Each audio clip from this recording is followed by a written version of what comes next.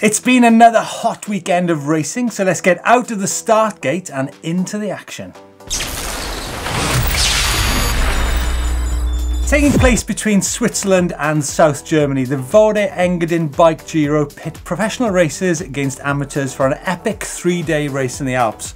With huge climbs and tough descents, riders are also challenged by the high altitudes. The views are incredible and thankfully the weather held up guaranteeing an amazing three days of racing. Germany's Sabine Spitz and Canyon Topeak's Christian Hynek of Czechoslovakia took the overall wins over the three days of racing.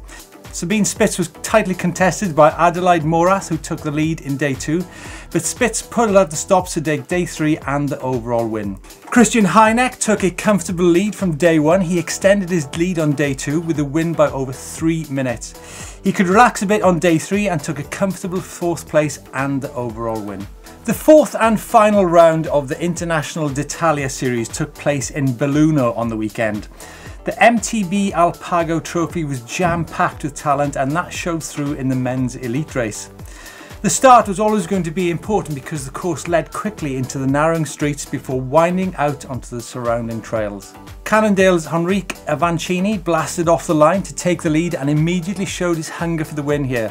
He would stay in contention throughout with a three-way battle between himself, Torpado Gabogas's Gerhard Kerschbaumer and Nadir Colledani of Bianchi Countervail. The lead would swap between these three, but a determined Kerschbaumer would not be denied, and each and every time there was a break, he'd patiently pull it back, and by the final lap, he was able to make the break of his own stick. The 20-year-old Italian had time for high fives and to, be, and to thoroughly enjoy his finish line moment. Colledani held on for second and the final pulling spot went to Henrique who looked very pleased with the result, although battling hard for that win from the outset. Fourth place went to Gioele Bertolini who was ecstatic to keep the leader's jersey and the overall 2018 win. After a sprint start by Evie Richards, European champion Jana Belomoina of Sand American Eagle was to be the leading protagonist of a long solo ride and comfortable win. The Brit Richards stood behind while, whilst Marika Tovo ranked third, controlled her day and managed to take the overall 2018 title. Jana Belomoina's win will be great for her confidence for the upcoming weekend of World Cup action in Val di Sole. Moving on now to EWS round 4 and riders are told to expect a Scottish winter for the latest round of the EWS held on the border of Austria and Slovenia at the Black Hole Festival of Petzen and Jamnica. Off-camber riding, plenty of natural trails and a ton of nasty looking tech sections proved challenging during a wet day's practice. But the sun played ball and worked to drive the course for two days of action. Day one saw 50 kilometres of racing and Sam Hill leading the men's race with wins on stages two and three. With 28 minutes and 18 seconds of riding over 15 kilometres, it's nuts to think that the top men was spread by only 1 minute and 8 seconds. Hill was being chased hard by Martin Maes, who took stage one but ended up second on the day, only 9 seconds back.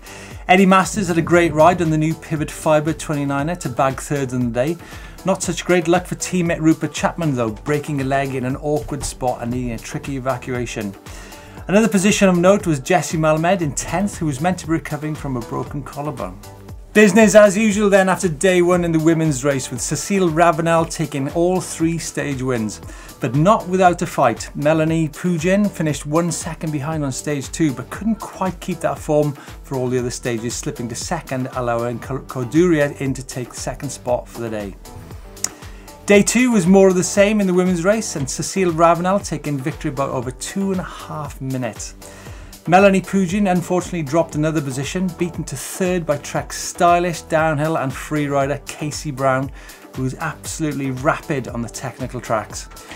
Usual podium threat Katy Winton finished sixth after a few nightmare stages on day one. She looked to come back in round five to gather as much points as possible towards the overall. The men's race was a tight two horse race, Sam Hill out in front, Martin Maes catching up behind. Mace cut Hill's lead to just 1.6 seconds after stage 5, which is pretty mental considering we're talking about almost an hour of time riding with just 1.6 seconds in it. Though was just too strong on stage 6, pulling away again and finishing 10 seconds above Maes. Robin Wallner bagged third, one minute back. Eddie Master slipped to seventh, not bad at all for a rider who juggles EWS with the downhill circuit. Jesse Melamed finishing his recovery ride in the same spot as day one, rounding out 10th place. He'll be firing on all cylinders for the next round, aiming to get points. Let's turn our attention now to the Viamundo MTB Cup. On dusty trails and high temperatures, awaited riders for the Three Nations Cup at Houffalize. Riders wound their way up and down the steep mountainside on a series of single track and road which provided a good passing place. And there was plenty of chopping and changing of the order throughout. Some of the descents look a bit on the steep side of what can be comfortably done on a cross-country bike, providing a course that challenged both riders' fitness and skills. The men's win went to Milan Vader with almost a 30 second margin. A decent margin considering the high temperatures on such a sustained effort over almost one and a half hours. Markus Schulte-Lünzum got himself into second position, 30 seconds back from Vader, with Hugo Draco in third with a further deficit of 40 seconds. The podium was rounded out by Joshua Dubau and Nick Van Poel in fourth and fifth respectively. The women's race saw similar margins of victory with Anne Terpstra taking the top spot from Sophie von Berswordt by just under 30 seconds. Both Terpstra and von Berswordt had a decent breakaway going from the rest going through the rest of the pack with margins growing exponentially from there. Perrine Clauzel took third, 3 minutes 30 back, and Sabrine Henault bagged fourth with a 5 minute deficit. Fifth was, fifth was Fabien Schoss, just over 8.5 minutes back. Maybe the dust and the heat did actually take its toll after all. Time now for the IXS European Downhill Cup, and 270 riders from 29 countries worldwide made their way to Abetone in Tuscany on the weekend. Bryn Dickerson and Monika Hrastnik taking solid wins in the men's and women's elite respectively. Dickerson from New Zealand took a three second win from his FS Fun Factory teammate Harry Molloy from the UK. It really was an international field at this event with eight different nationalities in the top 10 alone. Slovenia's Monika Hrastnik took a narrow win by just over a second from Germany's Nina Hoffmann and Elena Farina from Italy in third place. And so, whilst we're on Italian soil and moving on to the action that's coming up this weekend around the world, the World Cup downhill moves to the tortuous slopes of Val di Sole next week, and the battle at the top is turning into the, turning the series into one of the strongest ever. Commencal's Amaury Pierron as the th thinnest of margins ahead of Aaron Gwin, who is hunting down a fourth title on the trot.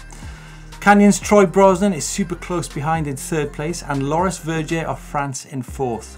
The UK's Laurie Greenland is on fine form on his Mondraker in fifth after a third place finish last time out in Leogang. But all eyes this weekend will surely be on America's Luca Shaw, who has qualified first on the previous two World Cups, but not quite been able to deliver his, deliver his first World Cup win yet. Loic Bruni is heading back from injury and will be strong, but Gwin is the master of Val di Sole and knows how to deliver on what is one of the world's toughest events. In the women's, Commencal has the lead with France's 2017 World Cup champion Myriam Nicole on 10 point lead over Trek's Rachel Atherton, who is chasing title number 6. Tahnée Seagrave some way behind in third, but more than capable of stacking up the points.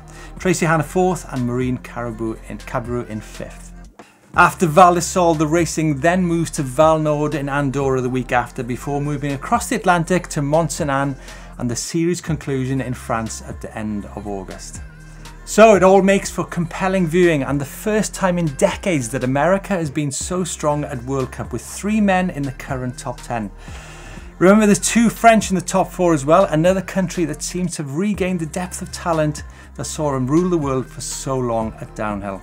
Another side to this year's World Cup story is how Commencal owner Max Commencal has re-established his place at the top of World Cup downhill racing. 20 years ago, Nico Voulioz and Anne-Caroline Chausson riding for Sun set the records which are yet to be broken. But today it's the Pierron Nicole package that is proving such a force at downhill. Over the next few months then, we will see whether Aaron Gwin and Rachel Atherton can add to their five World Cup titles and become the first people ever to win six World Cup titles. Gwin, of course, is aiming to make it four World Cup Series wins on the trot. And finally, here's the best of the rest from the weekend's action that's just gone by.